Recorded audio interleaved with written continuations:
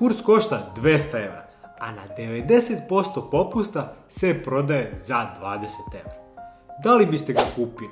Kako reagujete na velike popuste? Popusti nas privlače kao moljce svetlosti. Međutim, da li su svi popusti vredni pažnje ili nas zapravo teraju na sumnju? Posebno kada je reč o velikim popustima na uslugu. Tu često nastaje sumnja. Da li je ovo odlična prilika ili znak za uzbunu? Ostanite do kraja ovog videa i provešću vas kroz to kako ljudi zapravo reaguju na popuste. Moje ime je Vladimir Mladenov i ja sam konsultant za digitalnu transformaciju. Imam 15 iskustva u internet prodaju i digitalnom marketingu i znam kako je prodavati i proizvode i usluge i znam kako je davati popuste. A isto tako i proučavam ponašanje kupaca, tako da vam mogu dati vredne insajte. Zamislite situaciju. Nailazite na oglas za renomirani salon za estetske usluge koji nudi svoju uslugu na 70% popusta. Prva misao je, ovo je predobro da bi bilo istina. I tu negdje je suština. Kada je nešto previše jeftino, većina ljudi posumnja u kvalitet. Kako je moguće da neka usluga koja košta tako mnogo odjednom bude tako jeftina i pristupačna? Još jedan primjer. Marketing agencija nudi usluge kompletnog vođenja društvenih mreža za samo 200 evra. Šta vam ovo govori?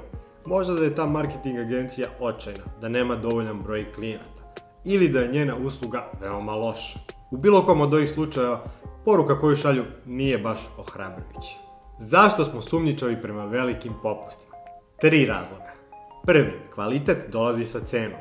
Ljudi veruju da dobar kvalitet ima svoju cenu, bilo da je u pitanju frizerski salon, eh, advokatska kancelarija ili marketing agencija. Kada je cena nerealno niska, prirodno je pomisliti da kvalitet nije adekvatan. Drugo, strah od skrivenih troškova. Veliki popusti često izazivaju sumnju da postoji neka kvaka. Na primjer, možda usluga jeste jeftina, ali su dodatne opcije preskupe. Treće, prethodne iskustva. Svi smo bar jednom pali na foru velikih popusta, da bi se kasnije razočarali. To iskustvo ostavlja gorak ukus i tera nas da budemo oprezniji.